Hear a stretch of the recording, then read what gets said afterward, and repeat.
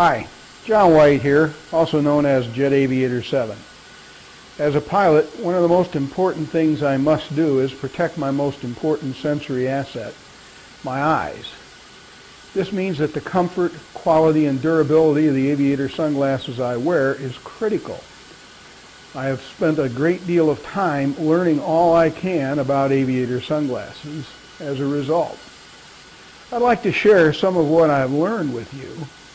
So let's have a conversation about aviator sunglasses and how that information can help you. Welcome. Today I'd like to talk about American Optical AO General Sunglasses.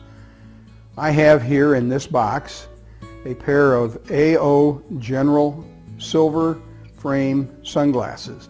Now every product that we sell is original equipment from the manufacturer.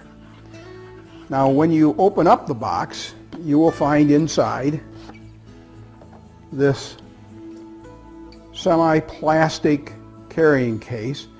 One nice feature of it is it has slits on the back and you can slip this on your belt. Inside the carrying case of course you will find the sunglasses themselves and you will find the original equipment manufacturer's warranty card. Now this pair happened to be, as I said before, American Optical AO General sunglasses. They have the true color lenses in them. They're silver frames and they have the bayonet temples. As you can see, uh, this is how they would look on someone like myself. I want to thank you for watching this short video and as always, keep your wings straight and level, Hirsch.